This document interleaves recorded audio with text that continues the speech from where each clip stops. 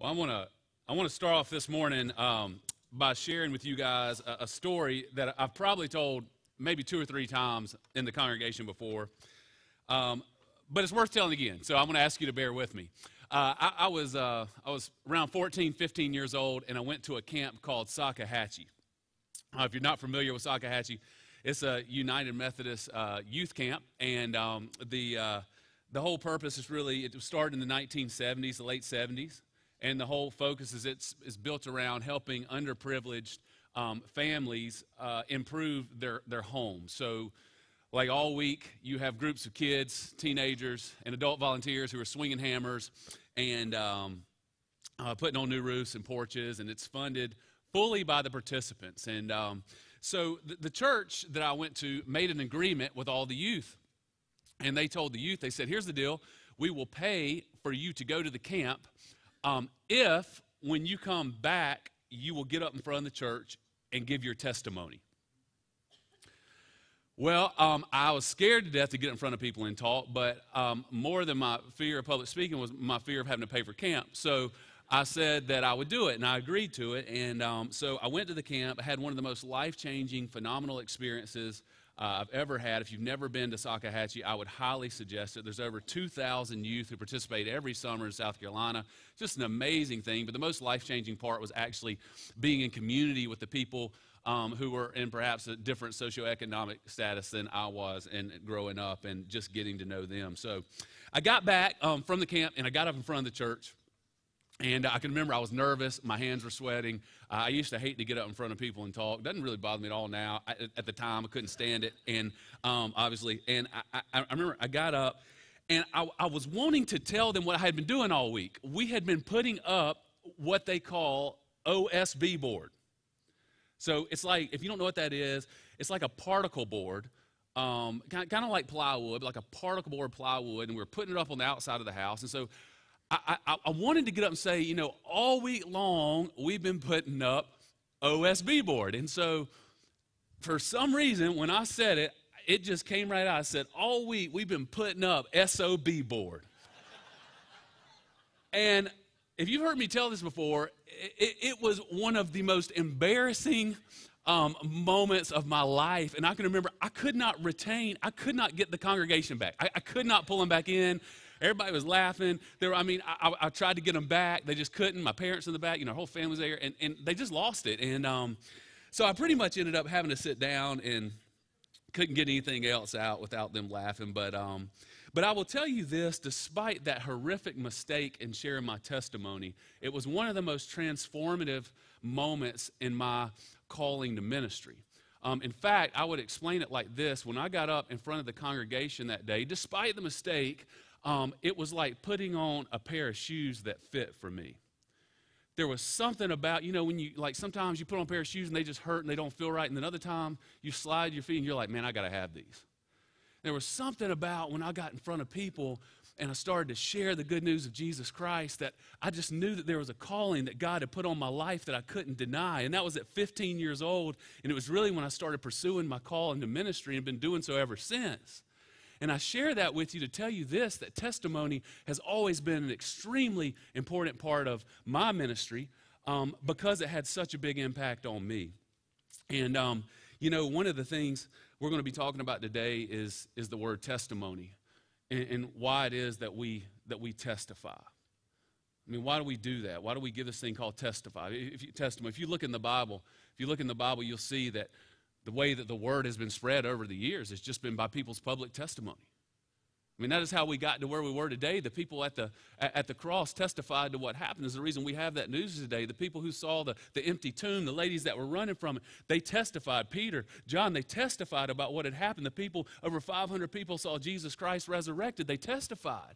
It was Paul who testified to the people who were going to put him in prison. He testified to the good news. And the reason we have what we do is because people have, have taken the step to share their faith with other people. And so we've been talking about, in, in, in here the past three weeks, we've been talking about what we're calling the four legs of the table. So, what is the identity of this worship service called the table? And we said that, that we're going to do what, what, we call a series on the four legs of the table. And so, um, the first week we started off with communion, if you were here. We talked about why communion is crucial to what we're doing. And then the second week, we talked about the Word. That was last week, why the Word and the authority of God's Word is important. And then this week, we're going to talk about testimony. Why is testimony important to this worship service? And then next week, we're going to talk about prayer. And those are the four legs of the table. But I have today, I have somebody who's going to share their testimony with you. And so I want to make sure that I give this young lady plenty of time. And so I'm going to be short and brief. But what I do want to do is I want to run through real quickly why I believe testimony is crucial to this worship service. And, and I'm, I'm going to give you I'm going to give you a few words um, as to why I think it's really, really important. And I'm going to start with this one right here. We'll do them real quick. The first word is edification. I believe that our testimonies are important to our, our spiritual life because they are edifying to one another. When we testify, we edify or encourage one another in the faith. When, when, somebody gives a testi- testimony, you realize that, that you're not the only lying, adulterous drunk in the congregation. I mean, you realize that you are not the only one who has fallen and who has separated yourself from God. I mean, sometimes you can walk into a congregation and you go, man, I am the only jacked up, screwed up person who walked in the doors today. But when we share life with each other, we realize that every single one of us is broken. It's not, I mean, it's not just about being broken and messed up, it's also about realizing that we have other things to be thankful for. You ever walk in church with your head hanging low, kind of like Cody was talking about today, and somebody shares a little bit of good news and your head is just a little bit higher? Like we remind you, hey, life ain't that bad. Jesus Christ is coming back. You ever need to hear that? Need to hear somebody go, hey, here's something good that God's doing in my life? We don't all just bring our baggage to the altar, we bring our thankfulness to the altar. Um, but we, we edify one another. We give testimony to being, to being saved by Christ's saving power means a testimony, it's, it's not that complicated. People go, oh my gosh, I could never give my testimony in front of the congregation. Yes, you could. Let me give you an example. I always tell y'all this. Our house burnt down as a kid. We had firefighters come. I, I didn't like, you know, like almost die or anything, but I want you to imagine if your house was burning down and you were in your house and you didn't wake up and you woke up, all, all of a sudden you, you do wake up in the middle of the fire and there's smoke everywhere. You're, you're coughing, you're choking, you, you, you can't walk. And a, and a fireman comes in and he picks you up and he carries you out of your house. And he takes you out and he does, uh, he resuscitates you um, and, and, and he saves your life. Could you tell somebody that story? Of course you could. It's the same way with your testimony about Jesus Christ. It's like all it is is just saying, Here's who I was. Here's who Jesus is. Here's how we intersected, and here's how he saved my life. We got a great example in the book of Acts, chapter 22. It's 10 verses, but I want to share it with you. You can read it on your own sometime, but, but it's just Paul. I mean, and he's just, it's just so simple. Just sharing what, what God did.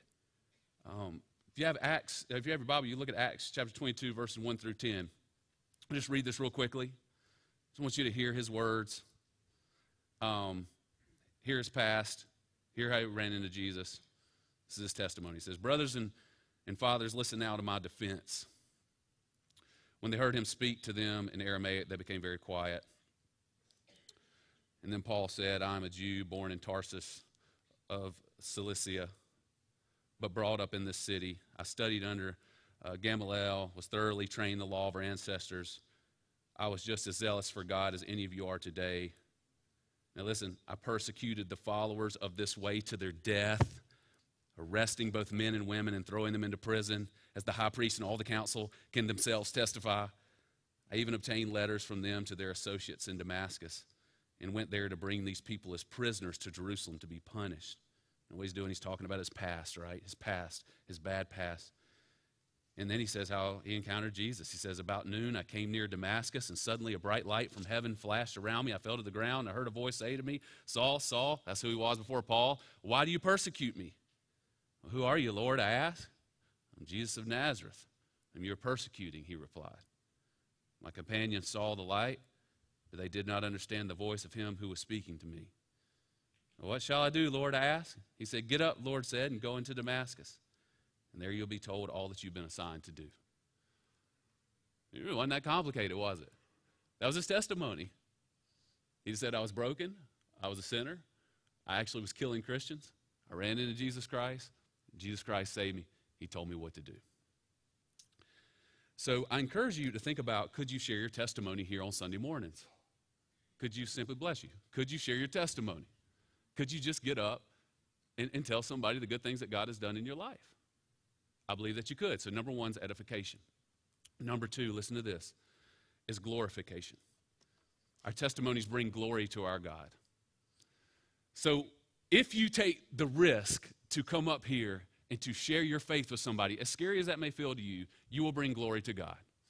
I mean, our testimonies are supposed to point people to God, not to us. I've heard testimonies that are about people. It's like, man, I want to tell you about where I, where I was and where I am now, and they leave God out. No, that's not what we do. Our testimony is all about pointing people to what God has done through us. Our testimonies are not about how God ran into us, they're about how we ran into God. None of us were walking down the road and went, oh my gosh, I just realized that God was walking down the road too. God, what are you doing here? Welcome to my life. Rather, it's God was already in motion. God's been in motion since the beginning of time. And you and I, at some point, realized that He was walking down the path with us, and we started to give Him glory and praise for who He is and recognize that He is our Savior. I mean, we give Him glory as not to glorify our own life or anything that we have done. And our testimonies don't have to be dramatic. I mean, we don't, we, we don't have to. I thought it was funny. We were back in the band room, and Emily said to the group this morning, she said, You know, she said, when I was younger, I used to wish that I was like hooked on drugs, so I had a good testimony. I was like, I don't know if that came out right, but, um, you know, it, but it's true. Sometimes we think, man, I, I, wish I, I wish I had a, I wish I had this strong story of, of this Damascus experience, but maybe your story is just that you know you grew up in church and you had a good family and people came around and loved you and you experienced the love of God and you started following him and you have ever since. And you just bring glory to him because that's kind of my life. God's just been good to me, and my family's good to me, and my church was good to me, and and I'm just still trying to seek him and follow him, and I, and I fall short every day. But you see, we, we, we all get around a table together in this service, is what I picture. We get around a table and we just tell stories about how good God has been to us. I, had a little bit of criticism about this testimony thing because some people said to me, you know, I, I, don't know about people getting up sharing the testimony every week. I mean, you're paid to be the preacher. You need to get up. You need to preach every week. All, you know, and I get it. I get it. Listen, I, I get it. I, I, here's what I want to say. Listen, um, I picture us sitting around a table, sitting around a table. And in my family, now I know everybody's got an uncle like this, but I, everybody's got an uncle who does all the talking at Thanksgiving, doesn't let anybody get a word in. You know, and they tell the jokes and the stories you've heard a thousand. Listen, I don't want to be the only one talking. You all have just as powerful stories as I do. And so I, I want to encourage you to share at the table with us and to tell your story about how God has been good. I mean, that's, that's what testify, testify means. 1 Corinthians 10.31 says, whatever you do, do it all for the glory of God. Do it all for his glory. Um, Galatians 1 is a, just another example, but I won't get all into it because I got to be quick this morning, but um, Paul had this life transforming experience. And uh, the people who used to know Paul, um, I guess in Rome, they used to know him and, and, and, they heard about how he had been changed. And they hadn't seen him since he changed. So it'd be like people you went to high school with. If you're a Christian now and you used to party in high school and you used to do crazy things whatever, I always tell y'all, but I was at Blind Horse, you know, the people at Blind Horse and whatever, know me, but I joke. But the people who used to, people who used to know you, and, and, and, and now you've changed, and, and this is what it says in Galatians 1 23 through 24. Paul says, They only heard the report. The man who formerly persecuted us is now preaching the faith he once tried to destroy. And listen to what he says they praise God because of me. And he doesn't say that they, they praised me because I changed um, or they talked about me, says they praise God. So I think what he's saying is, um, you know, you hear Paul says all the time, he's like, I'm not where I want to be, but I'm not where I used to be. And that's why I say about my life. I'm not where I want to be, but I'm, I'm, not where I used to be for sure. And I hope you got the same same thing. Uh, you know, our, our testimonies are just just seeing how how how God has changed us. I mean, you, like you have such big platforms if you share your story. I mean, I know we don't have any Justin Biebers in here, but Justin Bieber shared his story. Kanye West has done this. Now I don't know. I, I don't know them. I don't, I'm not judging or anything. I'm just saying, but they they have huge platforms and they have become followers of Jesus. It's just an example, but how, how, how, could, how could your life change other people if they heard that you had changed in a public platform like this?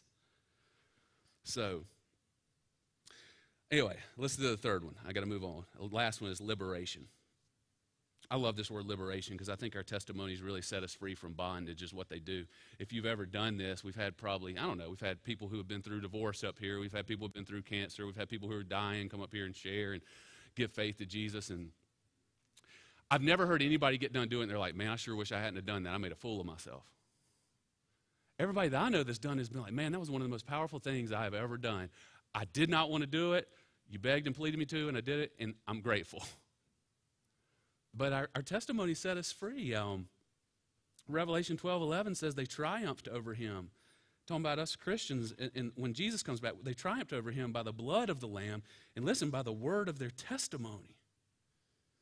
They didn't love their lives so much as to shrink from death. In other words, they, they, they testified no matter what, and they shared their faith.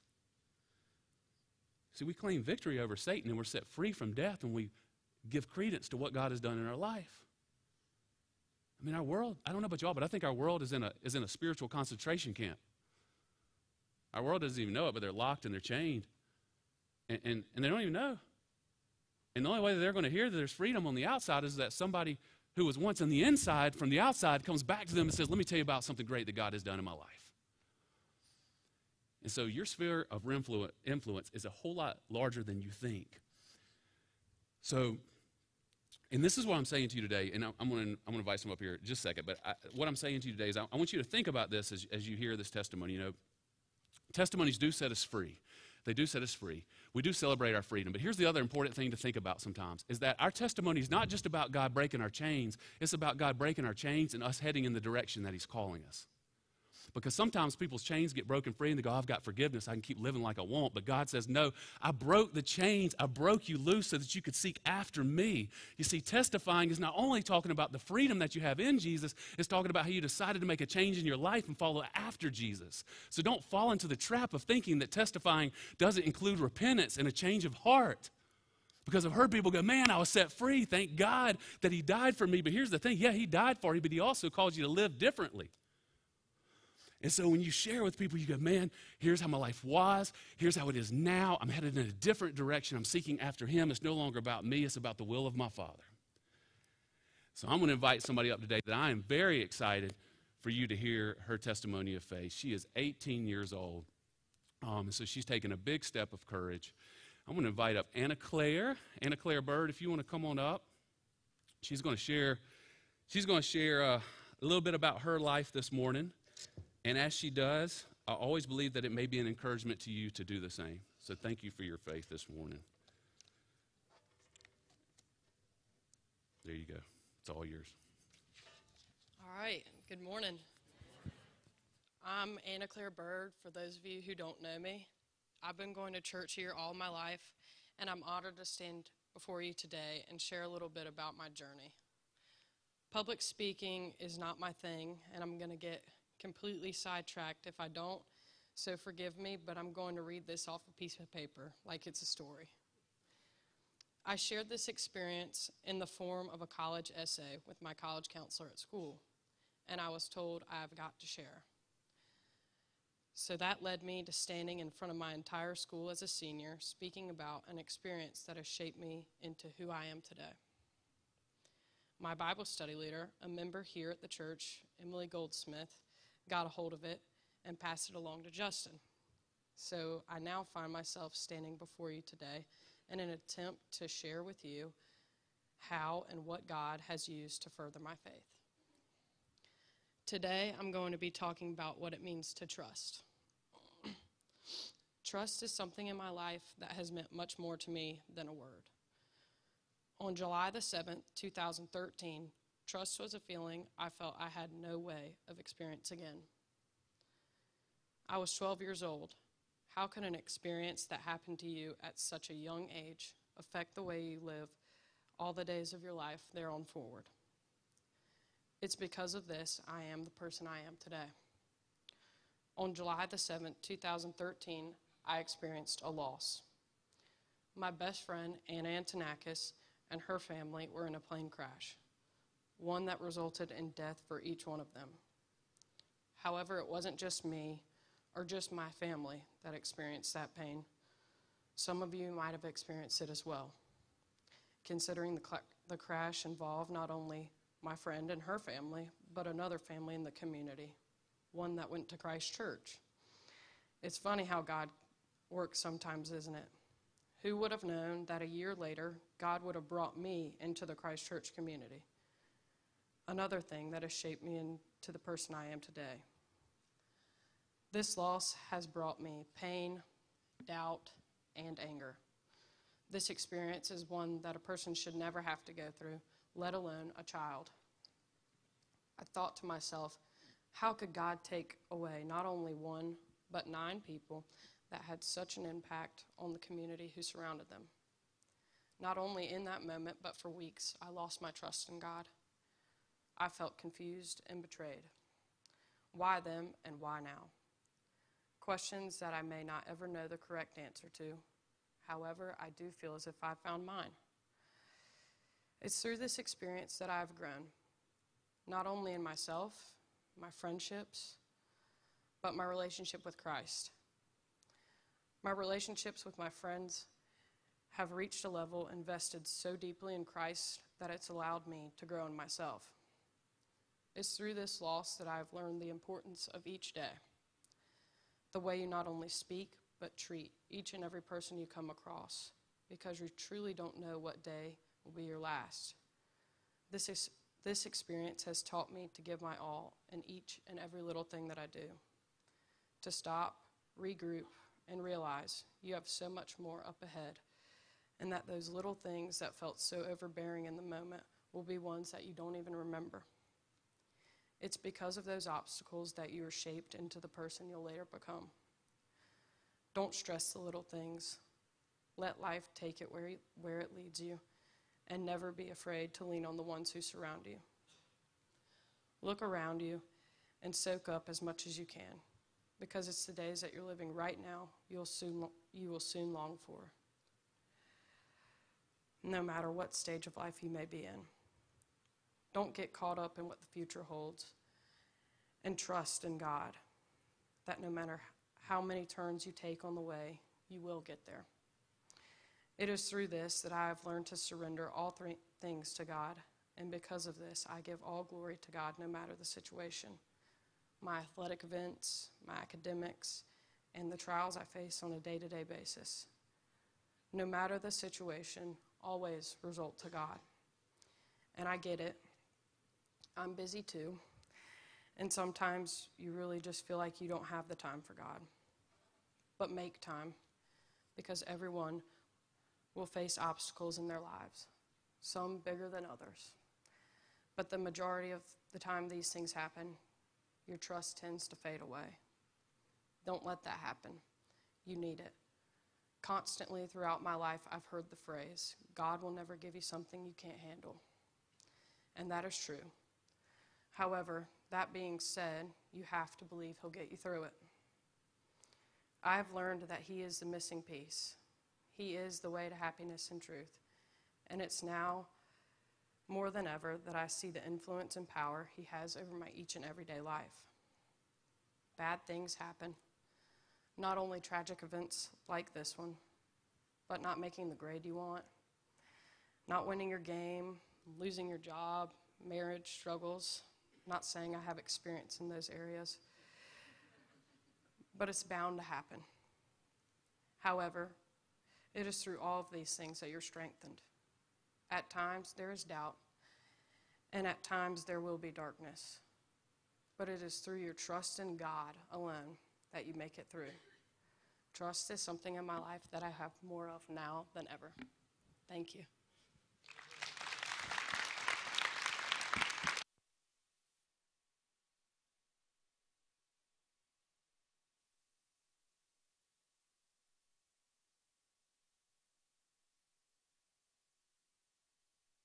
Part, part of what I want to share about this too, I think this is a really cool story, and, and, I, and I don't know, I don't know if you're going to slide this in there, but um, Emily Goldsmith got up and shared her testimony. Uh, we were talking, what was it, back in May? Is that what we said, something like that? And um, and after Emily did that, is really what led to the gathering of the group of these girls who were meeting early in the mornings and, and hanging out. Now, the leading to Anna Claire's testimony. And so, you know, it's kind of contagious. You start realizing, man, hey, 18 year old can get up here and share her life story. Maybe I could do it. And so um, I just want to say I'm super proud of her, super proud of her taking this step of faith. And, um, you know, this is just an example of what we can do, just share a little bit of life together. And I want to do something special for Anna Claire this morning. Uh, we, what we've been doing with our prayer teams is we've been inviting our prayer teams to come forward before we receive communion. And I'm, I'm going to ask if our prayer teams, those who are here to pray this morning, would y'all mind coming up? Are you okay if we pray over you this morning? You all right with that? If you say no, it's not going to look good. So just say, uh, um, I'm, I'm going to I want to ask our prayer teams to come up. Um, if y'all just want to come up on the, you can come up on the stage if you want, and we'll just pray over her and pray for her journey and her faith this morning. And I appreciate all the people who come every week to pray um, and pray for you. Um,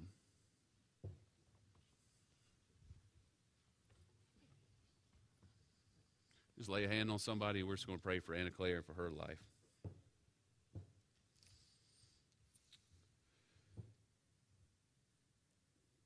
Father, I thank you for this awesome and powerful example of somebody who's willing to uh, give a defense of her faith, Lord, to talk about where uh, she's come from, Lord, where she's headed, and the good things that you've done in her life. Uh, I know at this stage of her life, Lord, there's so many options and roads ahead of her, Lord. And so I just pray that you keep her close to you, put a hedge of protection around her, Lord, guard her in her relationships, um, in her education, Lord, in her future. I just thank you today, Lord, that she has been a shining example to us of what it looks like to give clear and awesome testimony about what a good God you are. Just ask you to bless her her family. Bless her future, Lord. And thank you for Anna Claire today. We pray these things today in your holy and precious name. Amen. Thank you, guys. Thank you, Anna Claire.